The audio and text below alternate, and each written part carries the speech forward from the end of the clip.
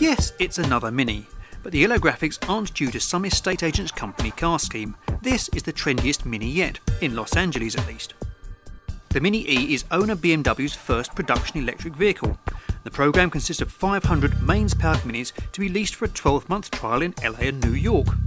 Under its bonnet is a 201 brake horsepower electric motor, but while it's got plenty of power, it's no lightweight and carries an extra 300 kilograms compared to its petrol equivalent. It doesn't feel slow though, the electric torque is instantly available and the front wheels writhe to put the power down. And as there's only one gear, nothing interrupts the flood of acceleration until you lift off the accelerator. Then the energy regeneration system kicks in and it feels like the brakes have come on, which takes some getting used to.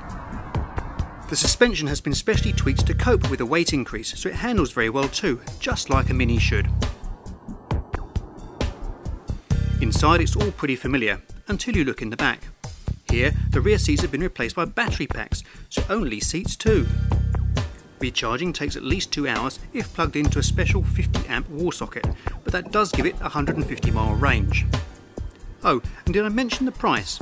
Lucky Few will pay the equivalent of £560 a month to lease it.